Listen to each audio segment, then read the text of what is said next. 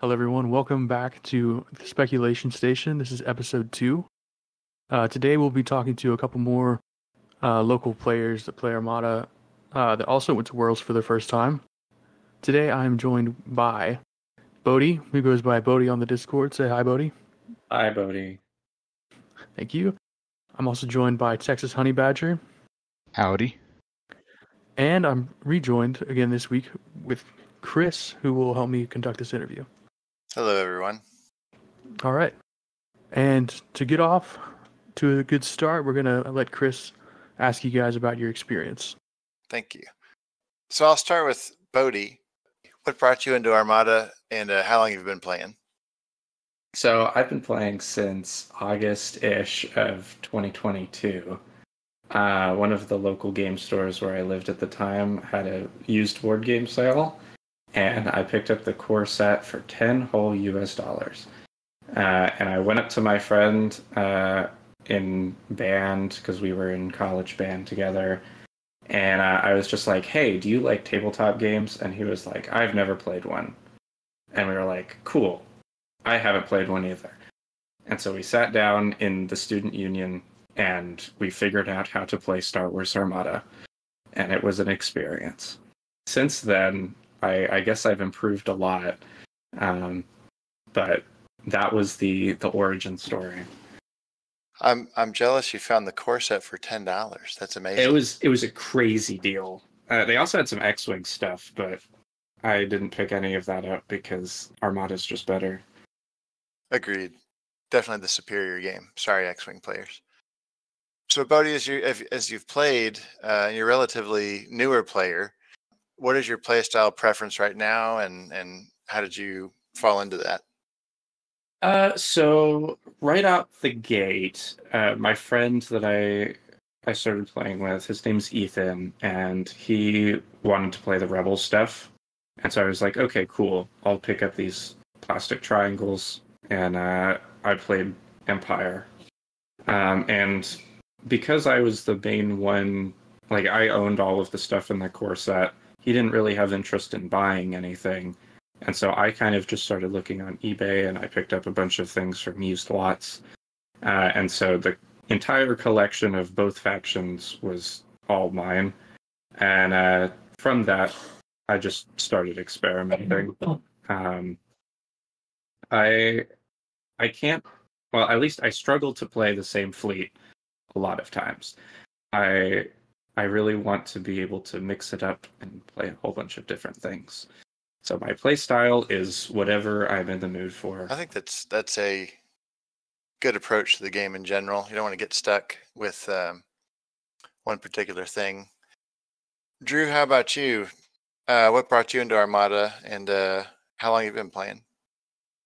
Yeah, I um, actually saw all the stuff on a shelf at a local game store in New Braunfels, Texas. Shout out to Game House. Um, the owner there had all the, oh, most of the stuff and had a lot of it painted. All of his squads were painted and everything. And so I thought it looked really cool.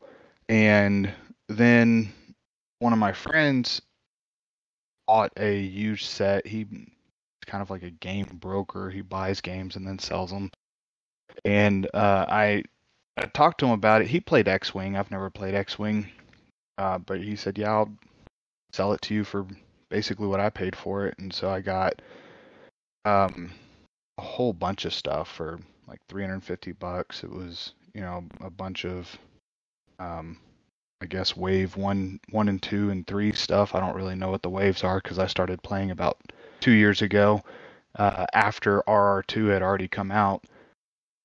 But uh, yeah, a bunch of stuff, and then I bought some stuff here and there to fill in the gaps, and ended up buying another secondhand collection. So I've got, you know, like the six Victory Star Destroyers that I flew at Worlds for the sector fleet. I've just got a bunch of stuff. Um, so uh, that was kind of how I got into it. Uh, like I said, about two years ago, I've been playing competitively for about a year. I think Texas Open last year was my first real competitive tournament that I played in.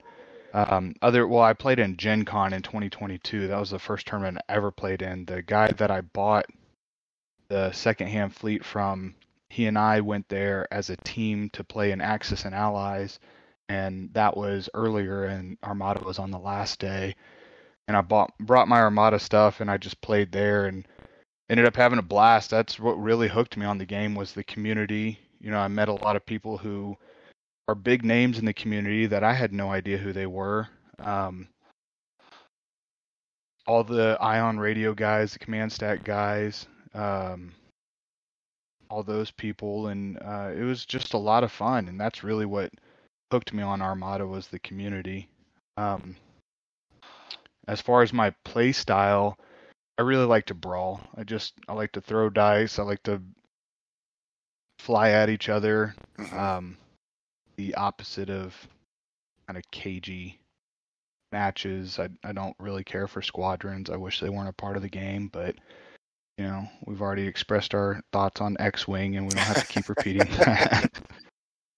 So for brawler uh, play style, you had mentioned victories in the sector fleet. What do you? Is there a specific uh, faction who you think is better at brawling, or do you just kind of try to find that playstyle in each faction?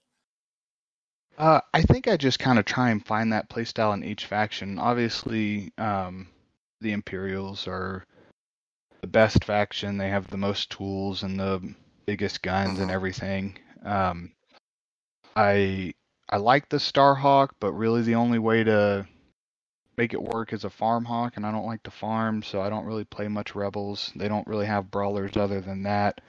Uh, they're more cagey and and you know, kind of thematic but scrappy rebels. Uh, my favorite faction's Gar. I just like the ships. I like the the characters. Um, you know, I grew up in the 90s and the early 2000s when the prequels were released, so those were my childhood as awful as those movies are, but that's what I grew up with, you know, wanting to be Anakin Skywalker and Obi-Wan Kenobi. Absolutely. That's really um, it's interesting that uh, both you and Bodie, and then we spoke with uh, Ryan and Austin last week. That for the people locally that ended up going to Worlds, and when I say locally, I mean Texas. So that's a perspective thing. But um, that four of y'all are all relatively new players and ended up going, and you know, just something that has been discussed a little bit here is, you know, like what is the effect of y'all coming to the game when there's not really a lot of new content being produced versus, you know, players that have been playing since 2017 or whatever. Do you do you both have any thought uh, about that? Like, has that been uh, a positive for you? Do you think overall? So when I first like saw this core set and I was like, cool Star Wars ships. Um, I thought that Star Wars Armada, like I had heard the name before, and I thought that it was going to be this game that I was jumping into that was continuing to get releases. Um, my only experience with tabletop games was knowing that Warhammer exists and not wanting to have any part in it. Um, like I, I did not think that I would ever be someone who would paint a miniature, much less build a miniature. And so I saw this stuff that was pre-painted, pre-built, and I figured that I was going to, you know, get another release every now and then. Um, but honestly, like I think, I think it's kind of fine. Um, it, it made it really easy for me to justify spending a lot of money on all of the things that are in the game currently because I was like, well, now I just own one of everything. Uh, and so I can build any fleet that exists. And that's that's probably not a super healthy thing because you know money and and being a young person in this world but um i don't know. I i've never really felt like it's been a huge issue. I i kind of have hope that we'll continue to get organized play initiatives and we'll continue to get semi-frequent rapid reinforcements or errata changes or whatever. Uh, and i'm more than happy to just wait out uh, new plastic whether that comes through another company shift or if amg decides to actually produce something. I don't know. I'm I'm just I'm content to wait for the time being. Gotcha. Drew, what about you? Do you think you're coming into the game new has affected your perspective of the game and kind of how you approach it? Oh, absolutely. Um, I I agree with everything Bodhi said, and I'm going to answer your question probably a little differently and try not to get myself canceled. But uh, I think there is a huge divide among the community's perspective. I'm not going to say the community's divided. I think the community's great. I think you know most everybody I've met playing Armada is a fantastic person, a great sportsman. Uh, I've played other war games before when I was a kid, like uh, WizKids Clix games, Mage Knight, Mech Warrior, and HeroClix. I used to do that every weekend when I was a kid. But um, I I think we hear a lot right now. Armada, the meta in Armada is the healthiest it's ever been, and that's starting to sound like nails on a chalkboard to me. To be honest, I mean, I I see where they're coming from. You look at when people would fly like eight flotillas and just whale farm or double onager and super oppressive or you know as much as i miss him commanderkin rip and matchstick um, they they were very overpowered things and so when people say that i believe that they're right but i think when more experienced players who have been around for longer say that what the perspective they're coming from is the stuff that they like to play is safe. Mm-hmm. And I don't necessarily think that's good for the game. I think if we did shake it up more, and I think that's what the new players want. The new players want new tools, new puzzles to figure out, um, new things to come out I would love for uh, Gar and Sis to like flesh out their keywords, the droids mm-hmm. and the clones, and be able to compete with the Imperial and the Rebels. And you just don't see it. I mean, if you just look at the st- the stats of uh, how many fleets were flown of each faction at Worlds, there's a huge divide. And I think that the people who are happy with the meta now are happy with the meta now because what they're good at is good or what they're comfortable with is good. And you saw it with Commanderkin a lot. Uh, newer players and not even and some older players too said you know hey guys it's just another thing to figure out you're to have to figure out how to play against Commanderkin you're going to have to figure out the meta with him in in it and the older players were oh this ruins the game and it's completely broken and um, you know, he breaks so many rules. Well, every commander breaks rules. You know, Ramadi doesn't uh, ignores obstruction and then adds a die for obstruction. That's a broken rule. Uh, Agate gives you a free discard ECM. Like that's that's basically just a new tool. Is a different way to tackle the rule. Mm-hmm.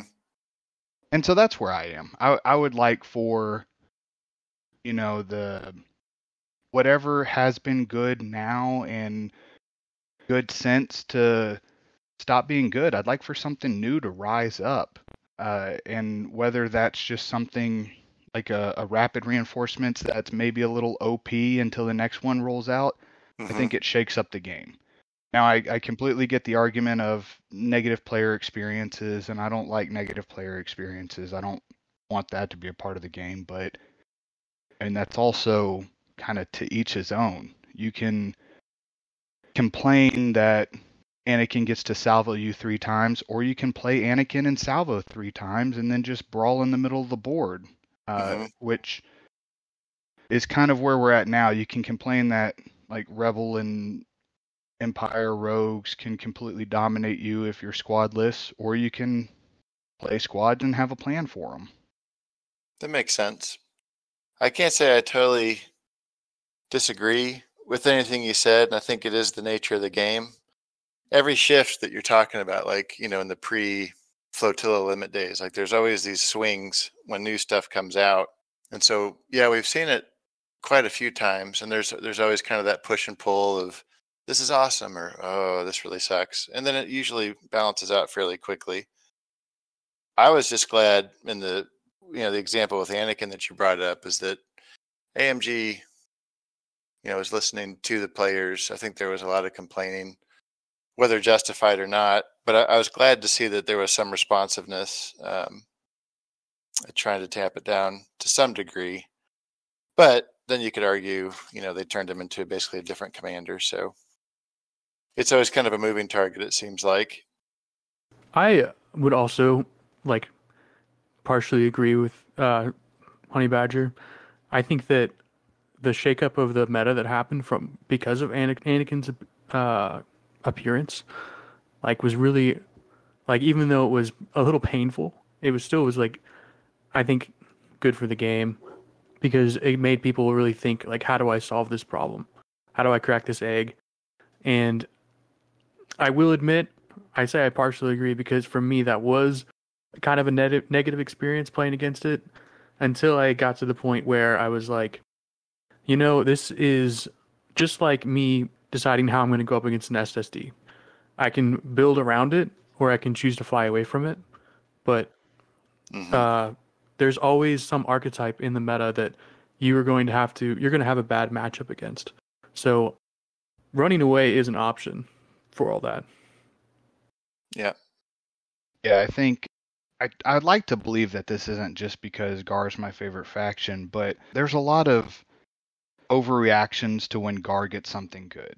Like you think about before the nerf, when Tranquility was three points, you had Mercy Mission. So many people say the Gar Pelta is the best ship in the game and that Delta Kin is broken and overpowered. Well, last year at Worlds, there were only five GAR players. Mm-hmm. It was like six percent of the list, and that was, you know, before the Tranquility nerf. That was with the best ship in the game in the Pelta. That you know, Mercy Mission that everyone cries about. But if they're so good, why are more people not playing them? I think the people that do say that they're overpowered just really don't play them and don't know how frustrating it is to try and solve that puzzle when you're on that side. Sure. I have one like okay, first of all, I definitely agree that like interesting new things need to happen. And as someone who I spend most of my time interacting with the game in the list builder, like looking at the same permutations of ships, upgrades, and squadrons can get a little bit frustrating even after only been playing for like two years or so.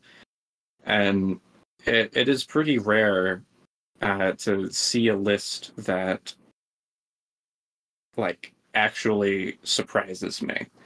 Uh, like Peter's uh, Starhawk at Worlds had a Nebulon, and that was like, holy crap, a Nebulon. Um, but like all of the other lists in the top eight are like, okay, we've got an onager and then some combination or sorry no not an isd some other combination of ships and then a bunch of squadrons. Or like you know here's an Ackbar list with an assault frigate and an mc30 it's like cool. We've seen that. And i definitely think that even even the smallest of things like a, a few upgrade cards would improve that experience a lot for everybody like especially the veteran players who have experienced everything that this game has to offer.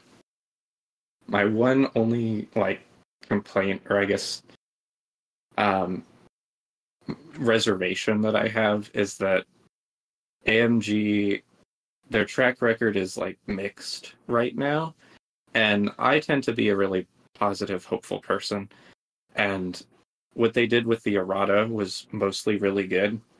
Uh, I think that some of it might have been a bit heavy handed, but they listened to the players, and that's great.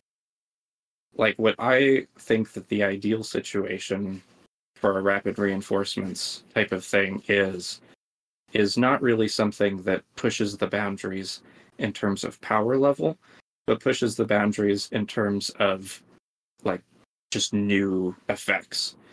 Anakin is a frustrating experience because uh, he he modified an effect that existed in the game, right? The salvo, Um, but like adding a new effect, I think could be a really interesting way to shake things up. I completely agree. Yeah. Well, that was yeah. There, there's some really good insight in a lot of what was just said, and I want to save some of that for later in the show um, as we uh, get to the elevation status of the program. But from there, uh, Josh, do you want to take over? Yeah, sure. So I would like to take this opportunity actually to ask you, Chris. Uh, so last time I got to talk a little bit about how I got into Armada and some of my play style. But what about you? Uh, how did you get into Armada? And what is your play style? Would you say? I started playing probably the first event that I remember going to was the Battle for Sullust, which I think was the transition event from Wave One to Wave Two, right right when MC80s and the ISDs came out. So 2017, I think. And I've just been playing off and on since then, taking extended breaks periodically. Um, but I'd say what brought me into Armada was I think I saw an ad or somebody, I don't remember how I heard about it, but I started hearing about these FFG games and I was kind of researching Imperial Assault, uh, X Wing, and Armada kind of all, all, at the same time and trying to decide which one to buy. And I, I picked Armada and really never looked back. It's the only miniatures game I've ever played. I love it. It's a lot of fun. It's a good challenge still, which is, you know, I think a testament to the game and how much it, adaptability it has uh, just kind of within it. So as far as play style, I'm mainly a Rebel player. I've dabbled in GAR, a little bit of CIS. I haven't really played Empire much, so I'd say mainly Rebel. Long-standing Ackbar uh, fan, but I'm trying to move away from Ackbar just because his playstyle can be a little repetitive. So right now I'm looking at Agate, like everybody else, and then on the Gar side, Bail, and just kind of playing around with those. A lot of squadrons lately, as opposed to uh, no squadrons. That always makes me nervous. So lots of squadrons, either Republic or uh, Rebel at the moment. Okay, cool. Well, now that we know some of the background of uh, each of our podcasters, let's go into our experience at Worlds. So let's start with uh, Honey Badger. I just want to see what fleet did you end up taking? I took a, a four Pelta Venator list.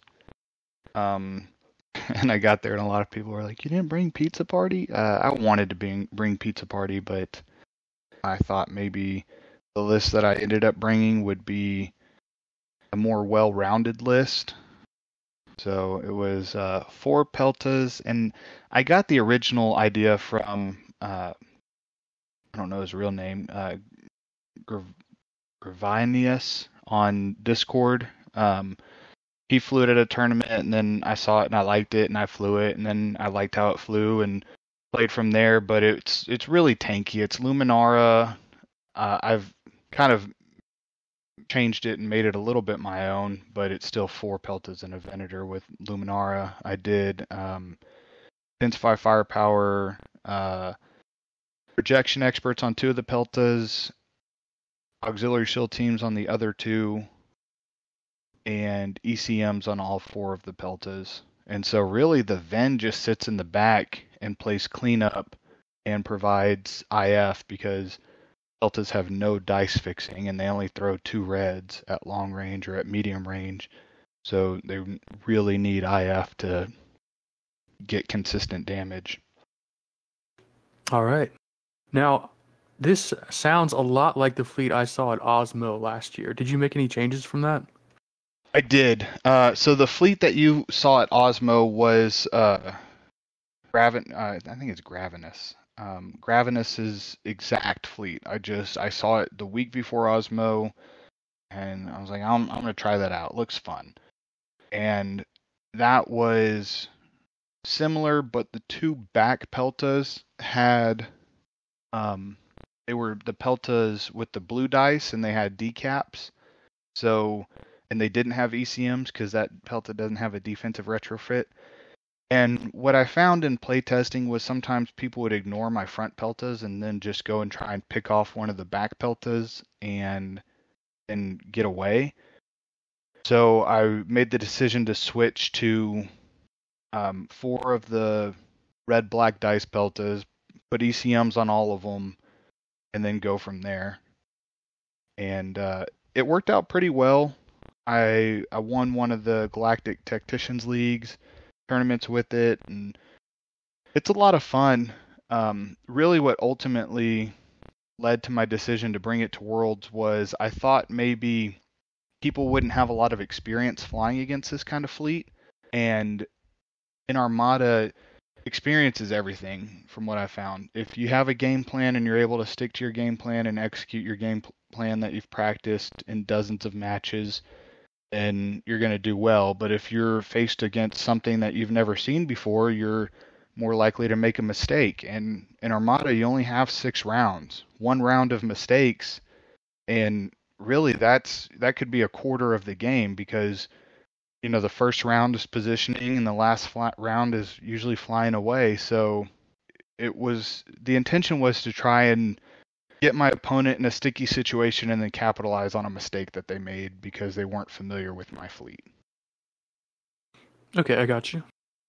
Uh, was there any meta that you like built this fleet around, or was it specifically built around your brawling playstyle? Uh, it was built around the brawling playstyle with um, an idea to combat squadrons. It um, Lumi with ESTs on those Peltas and projection experts. It it's a really good fleet into a lot of squadron lists. Um, I ran into a Plo list with arcs and that demolished me. But other than you know arcs and Plo, double dice bombers and an automatic accuracy, it's really good against most squadron lists. Uh, I, like I said, I wanted to bring Pizza Party. I brought Pizza Party for the team tournament for sector fleet. Uh, I just didn't think it was as good into a heavy squadron meta, and I thought there were going to be a lot of squadrons at Worlds. That's fair. I did take a brief look at the uh, the stats for Worlds.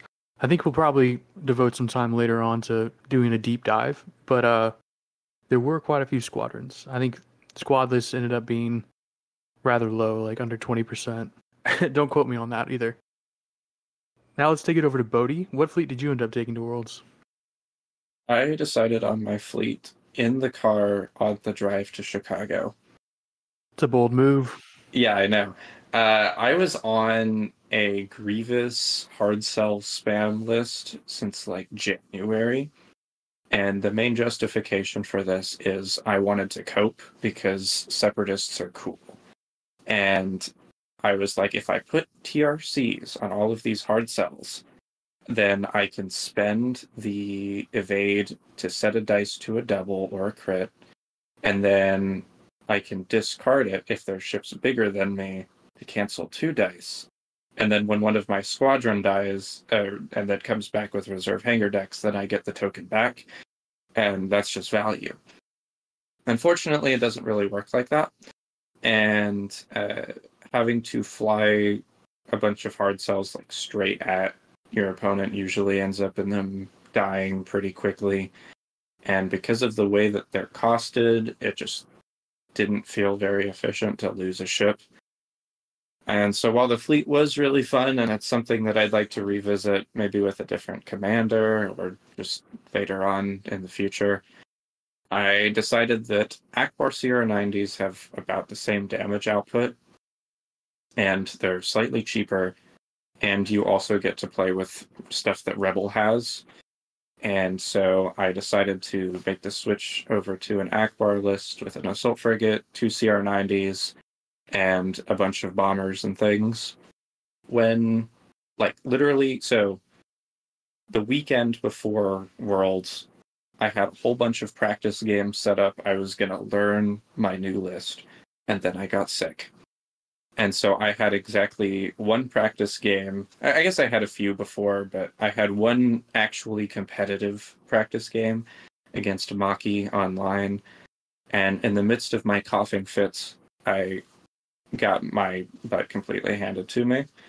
And so I made the decision. Well, actually, he helped me make the decision that I don't really need the fifth activation. I only really need the the three combat ships and one GR seventy five instead of two. And so I played more squadrons. I brought some VCXs and did the little farming thing. There wasn't really a conscious meta choice to bring this fleet.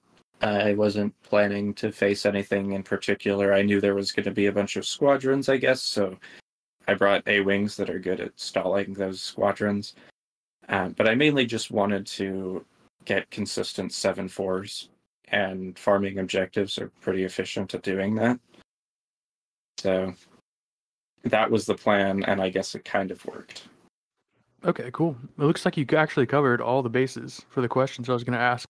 But I did want to jump in and say, based on both of your experiences, it seems like the GAR factions, uh, similar to what Will Schick said in his interview with Ion Radio, is that the, the Clone Wars factions are really nice, but they lack flavor. I think they have a bit of flavor. Um, it's just they're missing they're missing the efficiency that the the two Civil War factions have. The two Civil War factions have a lot in terms of just like generically good things, whereas in the Clone Wars factions, it's a lot of gimmick and it's a lot of things that you kind of have to push for it to be as just blatantly efficient. There's no price. There's no uh, Torn Far. There's nothing that's like just do this thing plain and simple. You have to work for your effects. Yeah, the only real cards that stand out to me when I'm thinking about Clone Wars factions is Wat Tambor, Tikkes, and Clone Navigation Officer. And then aside from that, I just think about the commanders, and it's kind of a hodgepodge. You can kind of take whatever you like to get things going. So I kind of agree. See what you mean there. Yeah, they lack uh, utility and tools in their tool belt. And the uh, so GAR is kind of like Empire, and CIS is kind of like Rebels, in my opinion. But the Separatists don't have a single Speed Force ship, and GAR navigate like bricks. They're absolutely horrible. Whereas Empire has kind of the you know same problem. They have a, a, kind of port navigation in some of their ships, but they have things like Jerry to help flesh that out. Or you know you can just take a different ship if you need more mobility. Whereas GAR, they put all their eggs in one basket. They're only four plus squadron pusher is their Venator, which is a hundred point ship and it's large. So now you have to make it a squad pusher and uh, your brawler. And if you're pushing squads, you're not commanding engineering and confire and nav, but you're a terrible naver. So something's got to give. They, uh, it, it's like all of their stuff is way too overworked. Yeah, I can see that. I think that might be why Bail gets so much action. Hundred percent. I would, I would agree with that. With uh, Bail, he's the commander with the most utility and gives you the most flexibility. Absolutely. I would throw in Jedi Hostage and Mercy Mission though, as definitely being flavor and having a an interesting impact on a typical game. But yeah, they're just they're just they're not complete yet. So, Drew, in your time at uh, Worlds, what sort of fleets did you face? And did you run into anything that really caught you off guard? Uh, I don't think anything really caught me off guard per se. I ran into, I played two KG squadron fleets, two KG like 134s, and an SSD and COG. I lost 3 8 in all of my matches except for the SSD. I got a 10 1 and really that was the biggest surprise that I, I hadn't played. I played against one SSD with this list, mm-hmm. and I lost pretty horribly. But I took a different approach this time, and my four Peltas were able to go against the SSD and were able to kill it, while the Ven swung around the back and cleaned up its support. So it was kind of an interesting match. But yeah, I don't. I don't think I really played against anything surprising other than people playing cagey and kind of running away and not really engaging. How did you approach? What did you do with the peltas on the SSD? I'm curious. I'm trying to picture that in my head. I can see the Ven going around. Should the peltas stay in the front or kind of come around left and right? How'd you approach it? Yeah, no, all four peltas in the front arc, and he had the uh, Eclipse title, Oh, okay.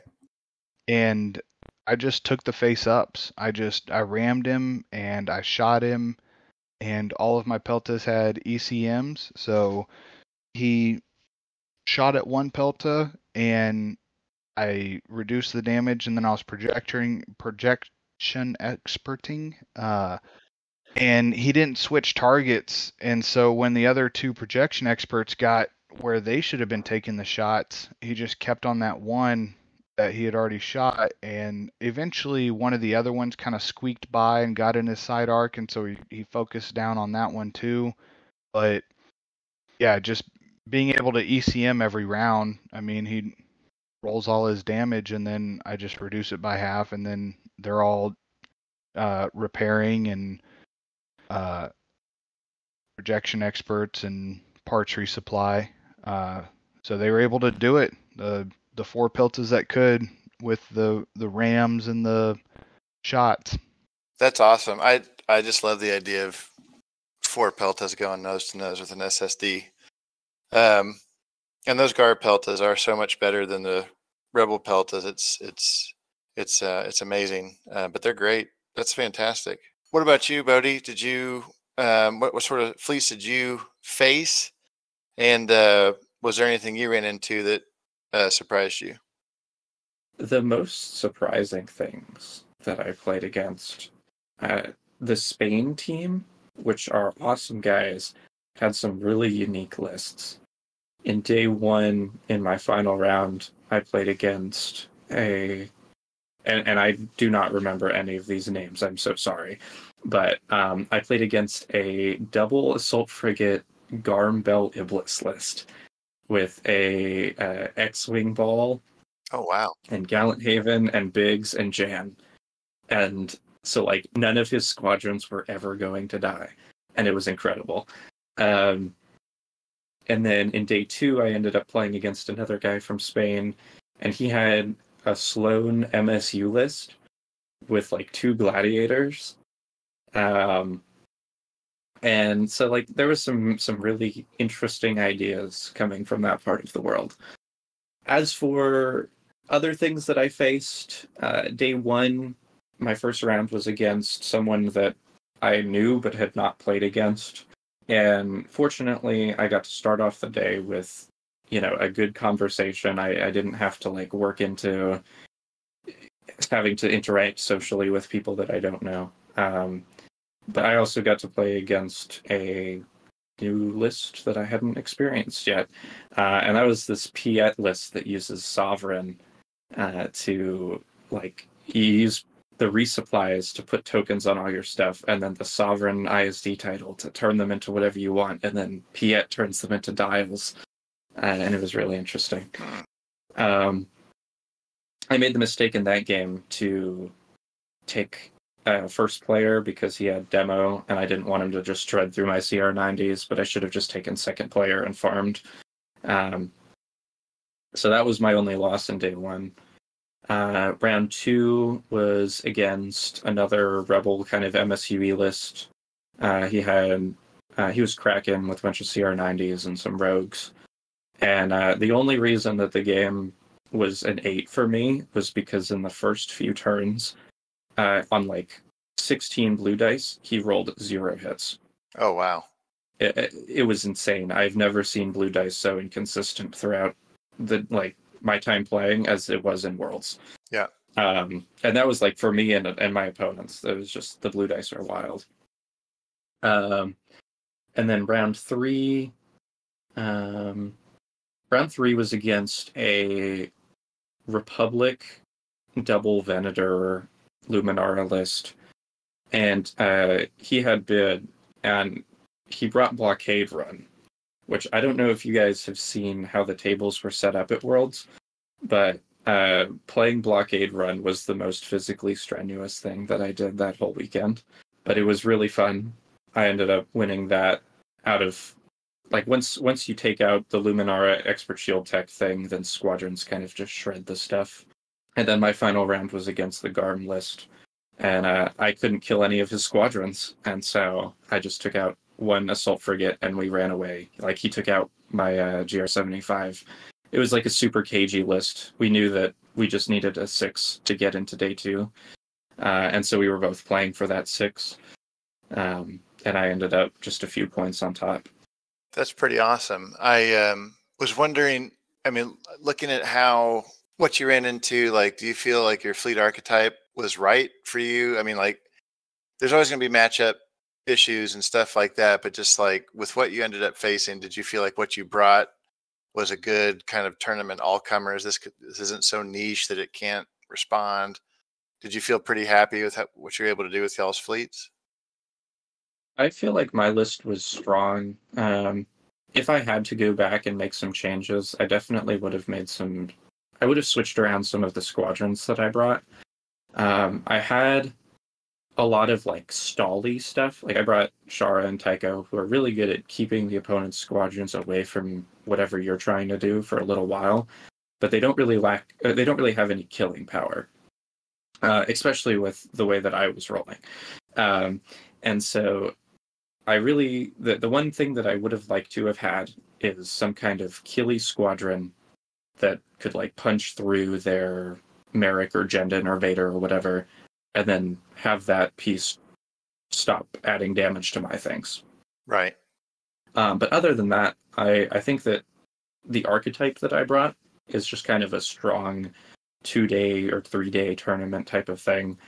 Uh, I learned a lot from just kind of watching uh, uh, Angry Ewok.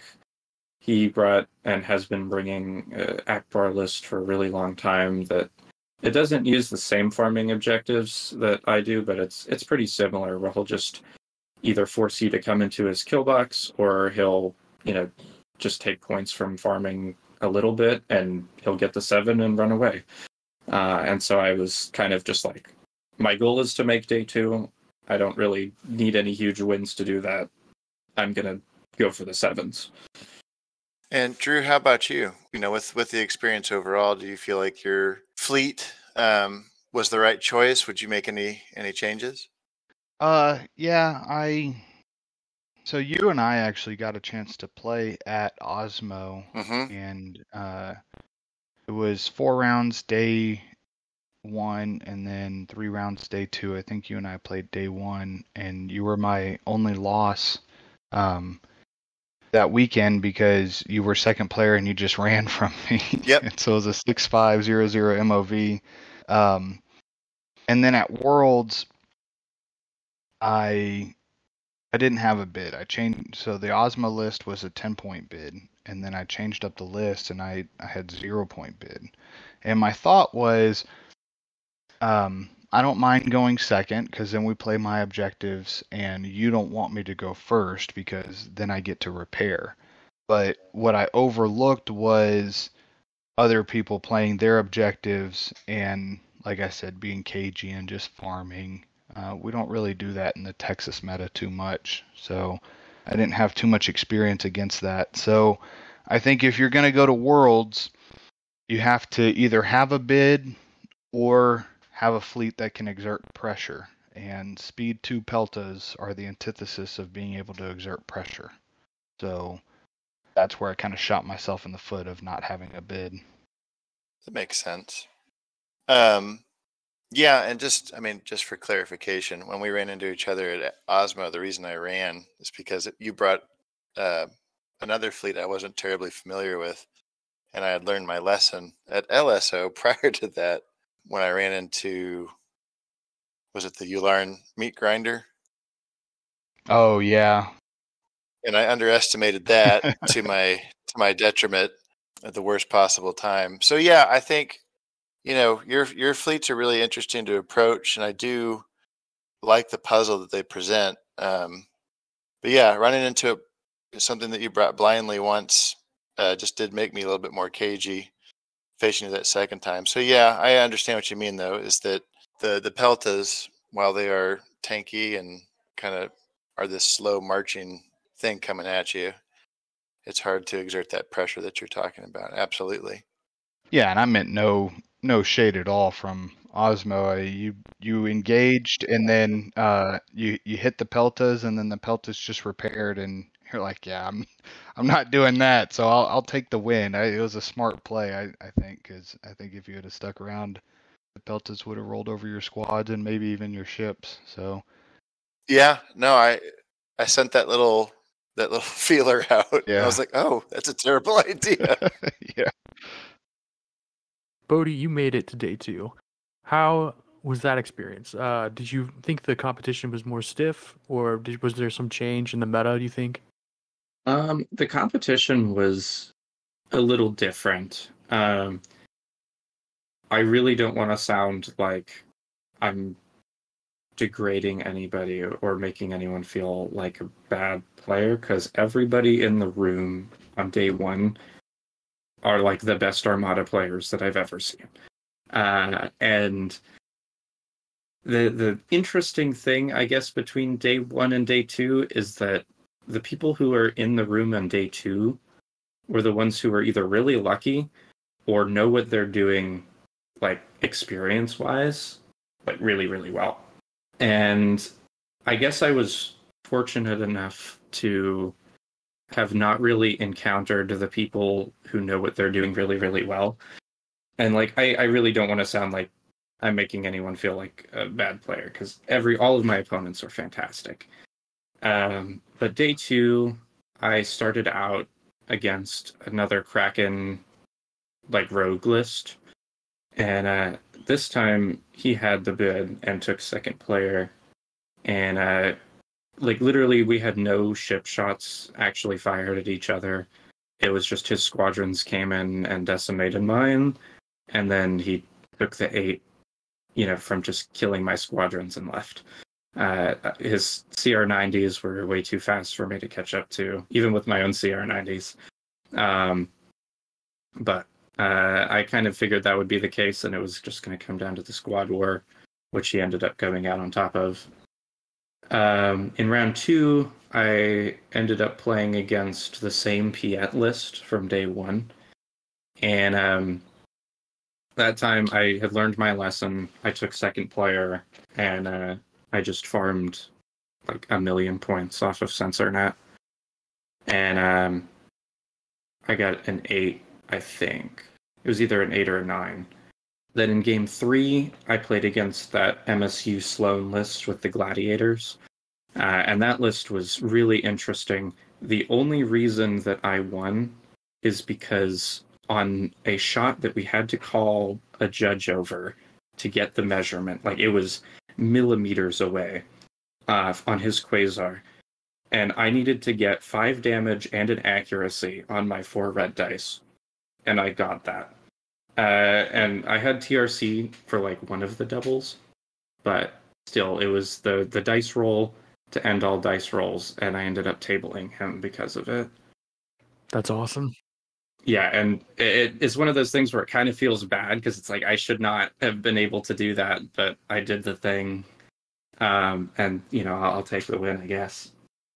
Um, but then I, after round three, I'm sitting at a solid 20 tournament points, uh, which the cutoff was about 25, 26, and uh, I met my round four opponent, who is the current Vassal World Cup champion and all of my hopes and dreams of making day three kind of just faded. If I had known that I could have made it into day three by taking a five loss, then I probably would have just run. I didn't know that, and so I figured that I would have to get the six like I did in day one. And um, his squadrons were, you know, they had more killing power than mine, and I just targeted his ISD. He had chosen my advanced gunnery, and I was like, if I can take out the ISD, then we're good. Uh, and I would love to say that it limped away onto health, but it like Ozzel jettisoned away at speed three at two health, so it's not really the same thing. Uh, but we had a great game. Uh, we were laughing the whole time. and, and that was the case in most of my games. I met a lot of fantastic people, but uh, unfortunately, my Worlds run ended there. But I did play in the teams tournament on day three, and that was a lot of fun. I had a, a team. We met online, kind of just one person was looking for three teammates. Um, that was Matt, uh, Danger Panda on the Discord, and so me and two others answered his call, and uh, we had Relent from uh, he's from Australia, and then we had Laugh Fuzzball who's from Atlanta, and uh, we were Team Pop Tarts. Uh, the, the Tarts is like an acronym for the commanders we played. The guy was Republic Tarkin, and there's the TA. Um, but we had a great time. Uh, we ended up getting sixth place in the teams, which was pretty neat. Uh, we had pizza one night. It was awesome. Sounds like an excellent, excellent experience. Uh, how about you, Texas Honey Badger? What was your day two and three experience like, and what was the community and atmosphere? Yeah, so um, I'm actually going to back up to day zero. Uh, during the World Qualifier or the Last Chance Qualifier, um, I played in the uh, Task Force games, and I borrowed uh, a list from Steve, who's a local there in Chicago. He had a list for Task Force, and he didn't end up playing, and um, so I had a lot of fun. I played against uh, Reese from the UK and also uh, James, the he was the current world champion at that time from the UK, uh, Malador. Um, so that was a lot of fun. And then I found out early on in the tournament that I left my deck box that had all of my cards that I needed for the weekend at uh, home, and so I just sent out an SOS to the Discord and just want to you know say thank you to everyone who came through and let me borrow cards. Um, you know Royce and his dad Rob uh, from Wisconsin, they let me borrow some cards. Austin or Mike from Austin let me borrow some. Uh, I think Bodie you lent me one or two. Um, but everybody just jumped on it like, yeah, man, I got you. Here you go. Uh, Steve, uh, that I mentioned earlier from Chicago, lent me some cards, and so uh, definitely quelled the panic real quick. Um, for day two, I played Sector Fleet. I played um, Pizza Party, but it was 800 points. So, and we're in Chicago, so I called it a deep dish. It was six victories and two Venators and a Consular lifeboat. It was a lot of fun. They all have spats. Um, the victories ha- or the Venators have take evasive action and intensify firepower and I love my pizza party list. And to play it in Sector Fleet, it was just awesome. I played um, an SSD the first round, one of the bigger ones, the Executor, and got the table there. And then the second round, I played against um, three pickles and three shrimps, the an Ackbar fleet, and I was, I think, one health away from the table, which would have given me the win for the tournament. But I ended up with 19 tournament points, and someone had 19, but they beat me out on MOV. So, but it, it was a ton of fun. Uh, day three, I played in the team tournament with uh, Mike and your two guests from last week. Um, we had a little Texas team going on, and that was great. Uh, Austin was our captain, and Ryan played with the SSD, and um, had a lot of fun. I played. Uh, we ended up playing the other Texas team, which uh, kind of was unfortunate because it's like you drive all that way and you play people that you can play with down the street, but uh, it was still fun. I played Downsize It, who I've played in two or three different tournaments also and been to his Osmo tournament, but that was fun. And it was just a great time. A lot of a lot of Armada, a lot of hanging out. It was like, you know, a, a month and a half or 2 months worth of Armada in one weekend and it was great. That's awesome. That's cool. Yeah. I honestly I hear the same thing about the Armada community wherever I go. It's like people love to play. People love to share the game. People love to have fun rolling dice with one another. I think every now and then there's you get you have an experience where it feels a little bad, but uh, most people shrug it off and then move on. because it's just a game, but uh, it's the best game. Big agree. Agreed. Do you guys have any uh personal highlights from Worlds? Man, that's like the hardest question of this whole evening. I I was so excited, you know, ever since I got my invite. Uh, I mean, just absolutely ecstatic. And the whole way home, and in the last two three weeks, I've just been completely giddy. Uh, like I wish that I could just relive the weekend over and over again. I've met so many fantastic people that I've only experienced the glory of their messages online and I got to see them in person and shake hands with them and play against some of them and it, I'll go on and on about how great it was until next year. Yeah, it was great. Um, I'm glad my wife came along.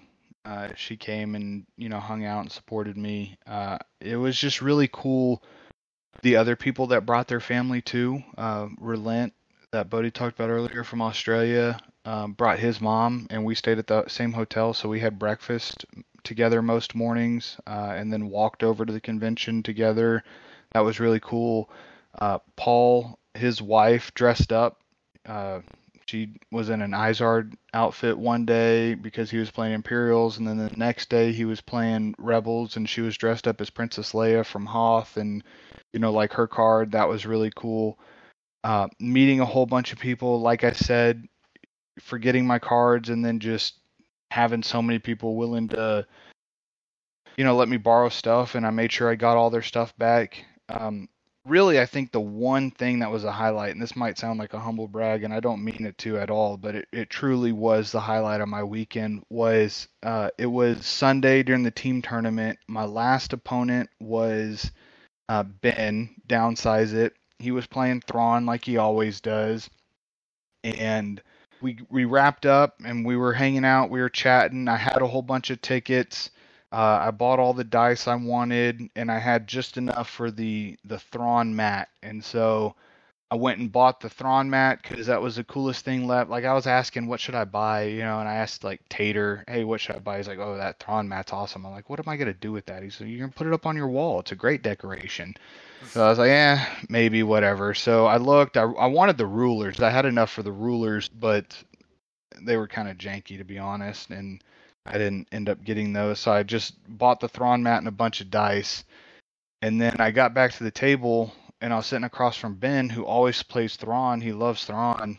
And I asked him, I was like, how many tickets do you have left? And I was just going to, you know, kind of cheekily uh, offer him the Thrawn mat for however many tickets he had left because I didn't think he had enough to get it. And he said um, that he'd given all his tickets to Bodie. And, uh, you know, I just saw Ben, who is a great guy. He is so selfless. Uh, he does a lot for the community. He posts his videos, he posts his updates. He's always positive. Um, and he, I feel like he does it for the community. He, he doesn't do it for himself. And so I was like, "Hey, man, you like Thrawn? Take this Thrawn mat." And I just gave it to him, and his face just lit up. It it was the coolest reaction that I can remember ever giving someone something. He was so happy. He's like, "Man, I got to find a way to repay you." I was like, "You don't have to repay me. It, you like Thrawn, like this is your thing. And uh, he was cheesing, he was smiling. My wife was cheesing and smiling, and it was a it was a really great moment for me to be able to give back to somebody who really gives so much to the community. Um, that was the highlight of my weekend by far. And then I didn't even know it, but he made a video like that night and gave me a huge shout out and showed the mat and thanked me and everything and uh, we were talking about what we bought with the tickets in the Discord, and I was like, "Oh yeah, I didn't really want the rulers, so I ended up buying the Thrawn mat." And and somebody was like, "Oh, didn't you give that to Ben?" Like, because they had seen the video, and I was like, "Yeah, I did." But so that was cool that it that kind of got around real quick too.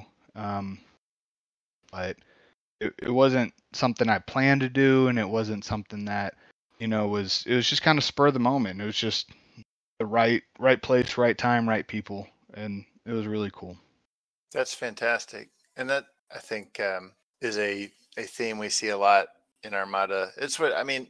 As cool as the game is, as much as I love it, um, the community that has come together around this game, I think, is exceptional, especially from what I've seen, like observing, you know, other games in the compet, especially in the competitive setting. It's just everybody seems to have the right approach. Like you said, Drew, it's very generous. I could speak to the same thing, uh, seeing that generosity uh, time and again.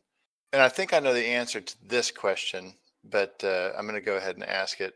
Would you go again if you had the opportunity? And now that you've been, what advice do you have for players who want to make it to Worlds for the first time? Uh, yeah, I I think I'd go again. Um, like I said, it was like two months worth of Armada, maybe even more than that, packed into one weekend. There was a lot of stuff to do, a lot of people to see. Um, shout out to Reese again from the UK who passed out um, a bunch of uh, alt art cards that another member from the UK, Chris, uh, created. They're absolutely beautiful cards. They, they just he just went by and whatever fleet you had uh, that you were flying, he gave you a couple of alt arts that Chris made, and Chris just makes them out of his own pocket and and gives them out. So um, just stuff like that. That you know, you meet people from all over the world, and you you get this camaraderie and everything. And I I, I like all the Texas people, um, but at the same time, I didn't want to just you know go to dinner with Texas people every night because I wanted to hang out with some of the other people that I don't get to see,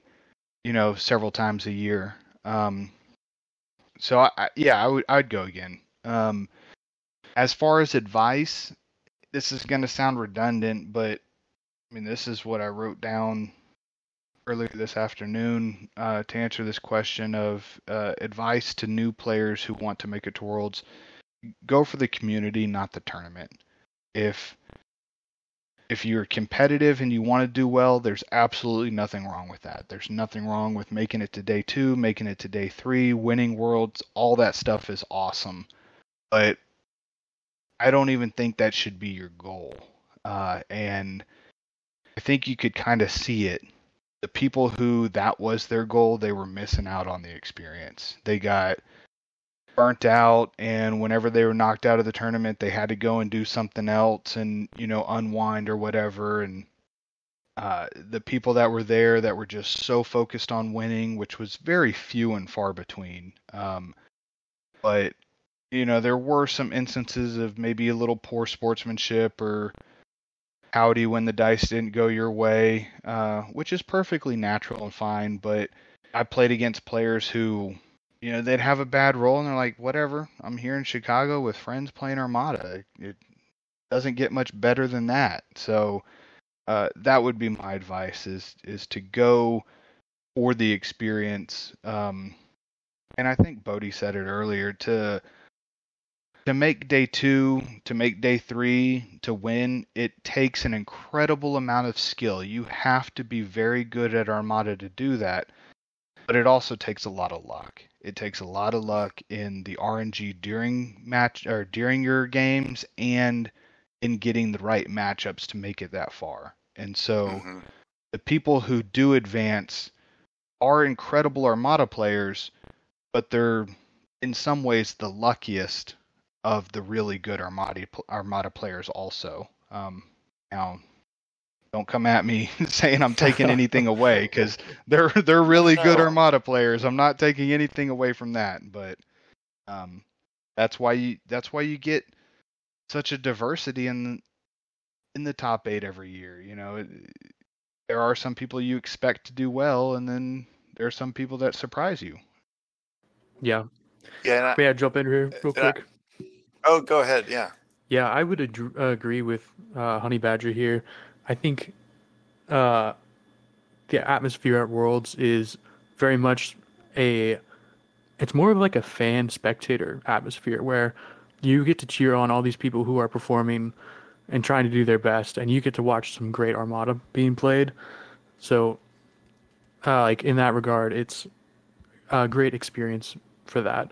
And the number of people that are actually going to make it to day two, day three, it gets smaller and smaller, and so they get more and more fans surrounding them. So, uh, yeah, definitely go if you have the chance. Um, let's see. Um, I also wanted to say we have been harping on how good the community is. Obviously, we're all human, and there are going to be uh, human experiences where you have uh, like bad die rolls or something. But I, I really don't want to go back to the comments from this podcast and have people pointing fingers saying Armada is not a good community because of this one person or that one person, this one experience I had.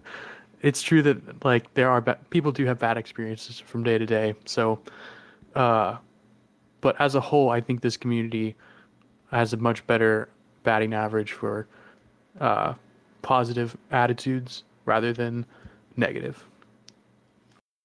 Oh, I yeah, I would agree wholeheartedly. They're pretty far and few between. And I think Drew, you made a lot of, of good points um, in what you were saying about matchups, the kind of the, the luck aspect, and then just the skill aspect. Um, and then something else, I, you know, with with with both of you, um, you know, it's just like to touch back on on your your game playing experience uh, at Worlds. Um, was there a, noticeable shift in your demeanor uh, when you're out of the competition, Drew? And then Bodie, did you feel more pressure on day two than you did on day one? Now that you had kind of gotten a bit further, and either one of you can can pick that. I'm just kind of curious. Like, Drew, you you strike me as kind of a relaxed guy most of the time, anyway. So, like, was it all all gravy? The whole experience all gravy for you, or did it get noticeably lighter after day one? Yeah, I mean, I I didn't expect to make day two. Um, I I've had a lot of success in the Texas meta in the last competitive season, especially being my first competitive season. Um, but I don't think like I'm I'm the Texas champion, but I don't think I'm the best player in Texas by any means. I think I greatly benefited from some of that matchup luck we're talking about, some of that luck along the way. I can think about, you know, different games that could have gone a lot different had the dice landed a little differently or uh, mm-hmm. LSO when I won my ticket um you know I took a 3-8 loss and that put me at the bottom and we had a drop and so I got a buy so I got a free 8-3 the second uh round and then um, I won my last game and it just barely edged me into fourth place. So that's that's how I got my ticket. I mean, that's kind of lucky um, to to get a buy and a free eight. So to completely make up for my first round loss. So um, I I didn't expect to make day two. I didn't make day two. Uh, I was prepared for it. I wanted to. Um, but you know, I I just don't think uh, I would have needed luck to make day two. I don't think I'm quite good enough to, and quite uh, would have deserved it. And so, um, and playing like Sector Fleet was a lot of fun. There was absolutely no pressure to make day two because there's still other stuff to do. The only downside is you you have to pay a little bit for it. You know, you had to pay an extra fifteen dollars to play in the sure. Sector Fleet tournament or whatever. Um, but uh, no, it, it, the people that I talked to that did make day two, like we went to dinner and like, oh, I gotta go, you know, get a good night's sleep and gotta go play competitive Armada the next day. I almost didn't even envy them at that point because it's like, well, I'm, I'm gonna have a few beers and I'm gonna, you know, show up at the start time, which is an hour later than yours, and just take it easy. Yeah. No, that yeah, that's I think that's some good insight uh, on kind of the mentality that goes into things, especially on day two. And so, Bodie, that kind of leads into your experience. Yeah. Did was did you feel more pressure on day two than you did on day one? So, at the exact same dinner where uh, Drew got to have his couple of beers, I was like, "Oh my gosh, I made day two. My plan, by the way, I brought Twilight Imperium uh, which is like one of the best board games. And I was going to assemble a group of people who didn't make day two, assuming I don't, like to, to play a different game. Um, yeah, I was lucky enough, fortunate enough uh, to make it in. And the only time that I felt even the slightest bit of anxiety was like there's there's like this focal point in a game where you know that it's been taken away from you. And that might be mm-hmm. a ship going down a little bit sooner than you thought it might be or, or even losing a squadron. And it was Mark Welder's ISD activation where he just shredded all of my A wings and then got to move them towards my ships that I knew that I had to start like running away from. Um, and it was like that moment. It's like, well, you know, that's it. And then I just enjoyed the rest of the game. Like uh, there was there was pressure, sure, but I mean, I was just having a great time, you know, playing with people that I can say are my friends now, and that's just Yeah. so awesome to me. That's fantastic. Um, you know, I you asked earlier, would you go again? And advice to give, and Yeah. I'm I'm going to be hunting down next year's invite uh, with renewed vigor. um, I even if I don't get one, I'm going to try and just go to hang out and do side events. Um, as for advice, like I don't know if if you guys are family friendly, then bleep this out. But just get your ass kicked. Um, you know, uh, when I was learning the game, I was learning with someone who was also learning the game, and so we learned together. But some people are learning the game from people who already know the game. And in those situations, you're going to lose a lot. And when I teach people, I like explicitly tell them, you know, don't take these games as gospel truth. Uh, you have to accept that, you know, the way to remember these rules interactions, because there's a lot of them, and the ways to improve your flying is by experiencing it over and over again. And you'll learn more if you lose. Um, Mhm. now, it feels really good to win, and you should definitely try and do that too. Um, but, I mean, Drew mentioned it earlier. Like, don't go and try and win. Just like go and play the game. It's fun. Like, do that. Absolutely. Yeah. I a lot of what y'all said echoes some of the experiences I had in the past at LSO, where on day one I'd never done that well. Hit that lovely flow state where dice are working for you and matchups are you know even if not favorable. Um, and I was relaxed. And then day two didn't get enough sleep, was nervous, anxiety built up. So yeah, I think you know it's it's one of those things where it's really easy to get in your head with anything that's competitive um, which is what makes again to kind of circle back to the community aspect of it which is what makes the community i think overall so healthy is that uh, even when you're feeling anxious um, or having a, a rough time with die rolls or you know you make a bad decision i i cannot think of a single time where an opponent used that you know to uh to leverage and wasn't just like oh sorry you know it's like and it's genuine sorry that was a bad roll you know? And so that kind of thing kind of uh, i think is what helps overall in the game. Um so my last question um is in your relatively new experience in the community something that we've struggled with in the DFW area, I think for a number of reasons, but primarily due to the size and how spread out people are. Um, what do you see as the biggest things a community um, can do to support the development of the player base and really keep enthusiasm going, um, attract new players? Like, what what have you seen work in your experiences? I think that UEAs are a perfect example of what to do. And that's making content or just like making things for this game. I, I hear so many interviews on podcasts, uh, and a lot of the times people say, I got into the game because I watched Krabak or Ion Radio or Downsize It. And like, those are kind of the pinnacle of people who have money to afford nice like recording setups. Um, but I mean, we're here making this podcast, and I don't know, my mic is not super nice. Like it, it's just one that I bought when I built my PC. You know, um, there are so many fantastic YouTube channels, uh, like Mercier, uh, Fly Casual. Um, there's like a Polish one as well, and they'll live stream their tournaments.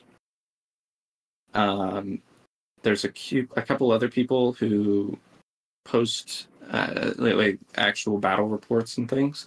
But go and support these people and uh, seek them out. And you know, if you're feeling a little feisty, go and make your own.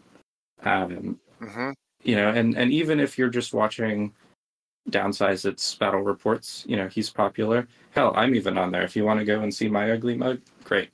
But like support the content we have. There's not a lot of it. And if you want to, make some yourself.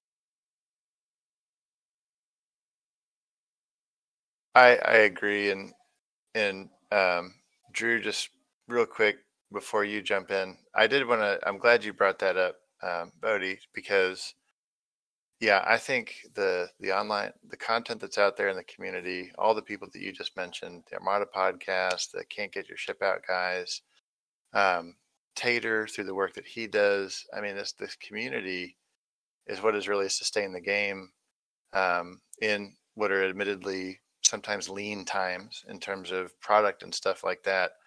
Um, so again, uh, coming back to the community, yeah, the shout out to everybody who has done so much to maintain this game uh, over time. And I'm and Josh, you know, thank you for doing this. I think it's helping maybe bring the DFW area together a little bit, and uh, I think it's a good a good step to take for us here. Drew, what about you? What what do you see as contributing to the health of a of a community and developing that player base? Yeah, I, I agree with everything Bodie said, and uh, I also want to um, mention something, Steve, uh, that I talked about earlier. Steve uh, from Chicago mentioned whenever they get new players, um, they bring them in and they play a game and they just kind of let them win and get them excited about the game. Uh, whenever I fly fly against a new player, I try to bring stuff. I don't necessarily let them win. Um, I try to bring stuff that they can kill, stuff that's they're going to be able to shoot and get off the board, because um, that's the fun part, right? And so if you can get them hooked, then you can teach them the game, and then get them to keep coming back. Uh, so I think getting, uh, you know, don't play cagey, don't play farming objectives, just front to enemy, roll lots of dice, blow stuff up, get it off the board. Uh, so that's how you get them hooked. And then two, I think coaching. Um, one of the guys in San Antonio, he he's moved away now. I think in Iowa Ohio somewhere. Uh, Nick Bonner is the guy who has taught me the absolute most from about Armada and how to play. Uh, and I have, I think we'd played maybe half a dozen, ten games or so uh, before he beat me for the first time. And maybe part of that was, you know, the letting me win, getting me hooked on it.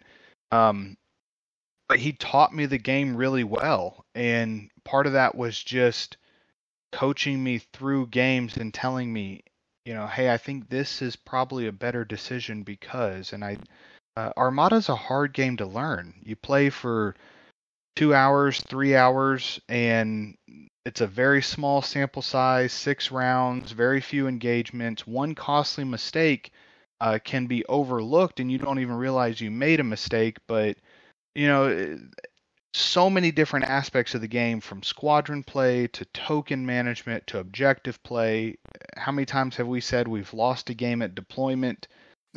there there are so many things in the game that can make you lose a game and you don't always notice them. And I think having a coach that can point those out to you of hey, that's actually a mistake and here's why can help you learn. There's a spectrum of, of learning where you go from unconscious incompetence to just you don't know where you're doing, you don't know what you're doing, and you don't know why you don't know what you're doing, um, to conscious unconscious competence to where you're doing everything right and you don't even have to think about it. And there's a, a spectrum there of you know conscious incompetence where you know what you're doing wrong and so you can fix it to conscious competence to where you know what you're doing right but you really have to think about it and make those right decisions um, and so I would I'd like to see more coaching in the game. I would really like to see maybe a partners tournament where you pair uh, like a more experienced player with a less experienced player and um, kind of they just give them feedback uh, of this is what you you know I wouldn't do this because of that. Um, and you let them play. You don't make any decisions for them, but whenever they're kind of making bad decisions, you step in. Yeah, I think that's I think that's a really good idea. I would agree with that, and that actually uh, is kind of one aspect of the development league that I'm trying to put together here in the DFW area.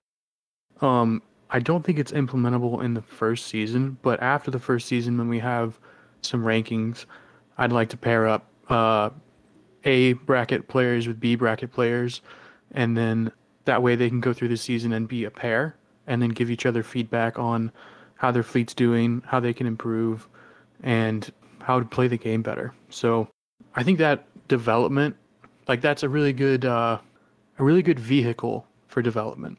Yeah, I'm, I'm really looking forward to putting that together, but I think that'll have to be the second year of its life. Yeah, I think uh, you know, studies show that the best way to learn something is to teach it. And so if you're a good player and you want to take the next step and be a better player, get some people under your wing and teach them how to play and you'll learn even more aspects. And then on the flip side, you know, if you're trying to get better, get a mentor. Uh, you know, shameless plug. If anybody's looking to teach me how to be better, I'd love to learn. I'd love to learn how to play Rebels because I completely suck at them. I'd lo- love to learn how to play squads. I'm not a great squad player, but uh, I, I think we have a great community that's prime for that kind of stuff. You you see it with like Jackson and um, Andy and and Mac who were talking about the shadow meta because that was just guys that were playing and giving each other constant feedback of how to get better. And I think that really helps you elevate your game if you are looking to get better. Drew brought up two things, uh, just real quick. I, I'm now aware, and I had seen this as I was looking at the lists across T4 and uh, had talked with Fox about this. I was like, what is this? I keep seeing this. It's like a big and then a, a flotilla and something like Gladiator, your uh, your Hound Dog, uh, and then just as many squadrons as you can fit into this basic three ship meta. And Fox told me that that oh yeah, that's the shadow meta. Or I, I am I am curious to see how that plays out. I didn't realize there was such a storied past behind them working that out together, but um, it got me thinking about uh, if there is a rebel version of that out there. I don't know yet.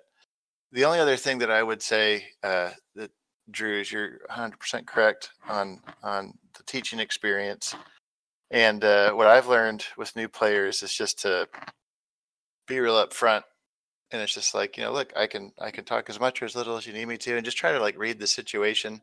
Because you know you don't want to over talk on somebody you know um, and overcoach when all they're looking for is maybe that first experience of like hey that was a solid win. That's what it feels like to blow up a ship and so like kind of having that awareness that you were mentioning of um, of kind of cultivating uh, a relationship and a new player and getting them into the game um, you know, putting away the farm hawk list for the night. And all right, let's just run, you know, a couple CR90s and some X Wings, you know, and just uh, having that be the long term goal, but listening um, and, you know, not, not over overwhelming a new player with all the minutia because it is a lot. There's a steep learning curve. So, especially now with as many waves of releases as there are, there's a lot to remember. So, that's all very good advice. And it's stuff that I know we're trying to do up here in the DFW area for sure. Awesome. All right. Well, that brings us to the end of our podcast where we talk about what errata we would like to see. This is the elevated section. Uh, it's not necessarily errata, but changes we think would make the game more playable for things that don't get enough action. So I'll start off by saying that uh, I was originally going to choose one aspect of Armada to uh, elevate, but instead, I'd like to talk, since we talked about this earlier in the podcast, a little bit about Anakin or Commanderkin. And I had a suggestion or a, like a homebrew build that was similar to Anakin um, before he, I think it was before he came out actually. Um, the idea was you'll have a commander, and then you'll have a salvo token on that card, and then anytime during the round when a ship is making an attack, you can spend that token during the attack to include all of the rear dice pools of ships within range. And then that way you have something that is uh, like a haymaker without having to line up a shot necessarily.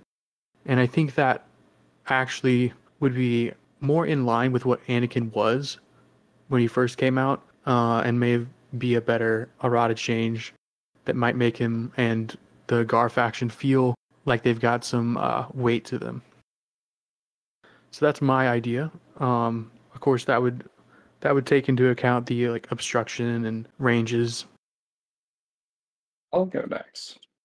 Who can tell me what the YV666 squadron does? It's got It's got rogue. rogue. It's got rogue. All right, here's the proposed change. We take away the Empire symbol and we change it to the Separatist symbol. All right, this is going to do three things. First up, Separatists have rogue. Now they're cool. Second, uh, now the people who are hating on Moralo don't have to worry about it because Moralo is also in a YV666. Third thing, now we have a seven health squadron for separatists, and what's that's what that's going to do is let us use our red flag, and we're going to put uh, ruthless strategists on it all day long, and it's going to be the next best thing. That's that's the whole point. I like it. i i'm a little scared about the seven hull going to the CIS, but There's speed two. They are There's speed too. Yeah. I'm not it's gonna against it. forever for them to get there, but once they do, the flat game, it's gonna be great. All right, cool, cool, cool. Honey Badger, you want to go next? Yeah. Um. So you want the short answer or the long answer? I'm just Whatever answer give you a short Answer. okay, fine.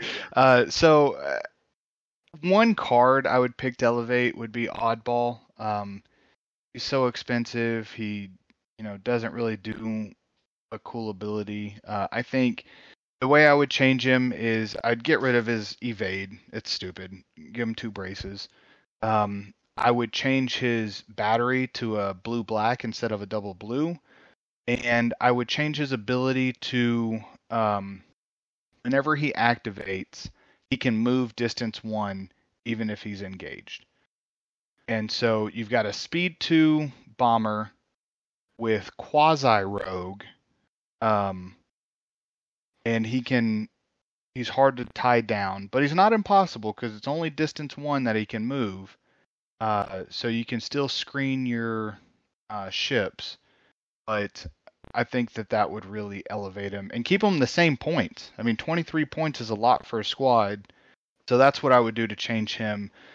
Uh, But the long answer is um, going back to what Bodie said earlier about introducing new concepts. And, you know, I don't know if any of y'all play like Magic the Gathering, but Magic does this extremely well where they come out with new sets and they all the new sets have a new ability. It does something different. Um, so I'd flesh out, and the way to start is flesh out the clones and the droid keywords. The Civil War factions are underutilized. I would like to, you know, you're going to get the knee jerk reaction of, oh, they're too good, they're overpowered. Well, when they start seeing 40 and 30% or 50% play at world competitions and the imperial imperial and rebels go down to you know single digits or low double digits um, then maybe we can look at readjusting them but until then yeah flesh out the droids and the clones give them some cool abilities uh, give them some unique things maybe some commanders or some officers that impact all droid squadrons or all clone ships or whatever it may be and give them some synergy. I think that's the easiest way to really elevate those uh, ships out there.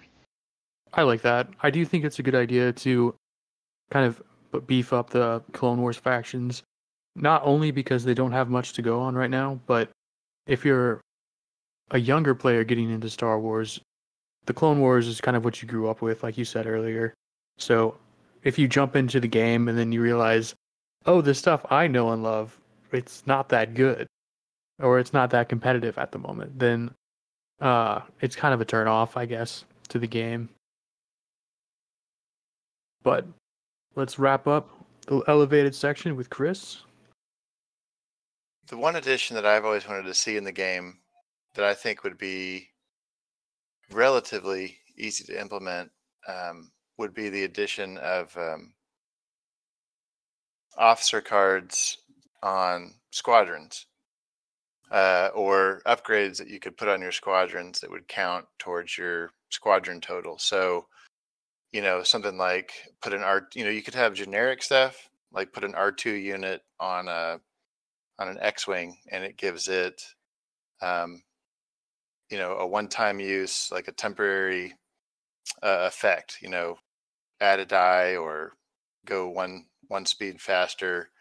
Um, you know relatively cheap disposable generic stuff like that but then we would finally have an opportunity to see you know first mate Chewie or r2d2 or c3po and while some of these elements might be present in other games like x-wing i think it would be a fairly affordable way to to spice things up in the in the squadron play. Although, if you already don't like squadron play, if it already feels too slow, I could see how it might be a down. I actually really like that idea, and I'll tell you why. I would like to see it expanded upon to where you have uh, each pilot can go into kind of like an X-wing can go into any hull but they keep the same defense tokens unless it's egregious. Like if it's Shara going into a YT 14, 1300, that would be too much. Maybe the tokens have to fit based on the the ship, but um, I'm seeing the the chat. Yeah, I I went a little too far right there for a moment. Uh, okay, but uh, yeah, I think the idea of there's already Anakin in a a Y wing. There's already Anakin in a Delta, so why not just flip him into an arc as well or something? So have him keep one of the abilities. Maybe it's too much, maybe it's not, but it sounds like a fun idea. I like the idea of an ace ability. Um, you know, I think maybe the defense token should stick with their ships. Uh, whatever ship has that, if it has an ace in it, that's going to have the defense tokens no matter which ace is in it. Um, that way you don't get scatters in defenders, tie defenders, but uh, yeah, the the ace that switches to another ship, it keeps its ability. I think that would be kind of cool, actually. Okay. That wraps up our podcast. I do want to give one more shout out. I forgot it last week, but Bodie did mention them. Mars from Fly Casual last year gave me some cards, and I got to talk to him for a bit. But yeah, support your uh, community locally and support your creators. And in saying that, give this video or podcast a like and subscribe on YouTube if you get the chance. Or if you're listening somewhere else, if you can, leave a comment or interact in some way. That'd be great. In the DFW area this weekend, we have a tournament at Texas Toy Soldier. Which, what time is that at, Chris? We're looking at a, they open at 10. So it's a casual Saturday. Um, looking to have dice drop by 10:45 hopefully. Do 3 rounds. Awesome. All right. We realize this is uh, kind of a longer podcast, but uh, if you need to take a break, I'm glad you did and stick it out and uh, listen to all of it. And thank you. Until next time, like downsize Bye. it says, take it easy. Take it easy. Everyone be safe.